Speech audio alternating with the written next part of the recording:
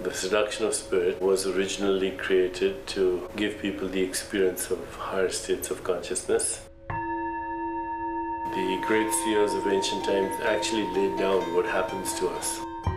They spoke of uh, the awakening of dormant potentials.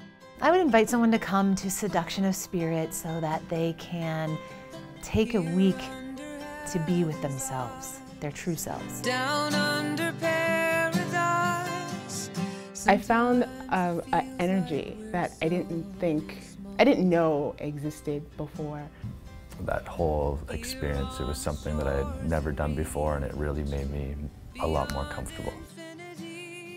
The amazing mind power that shows up and the way they explain things, that just is absolutely mind-blowing. I left the first time thinking, well, you know, that was nice. And, and then my life started to change. And um, this is my fourth seduction. Could give our love. We practice meditation, we practice yoga.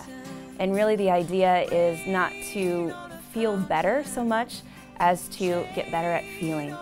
And that's one thing you'll experience by attending Seduction of Spirit. Just do what you can. Waves are coming in. Waves are coming in. Neighbor, say a prayer for me. Sing So let your light shine without holding it in. We say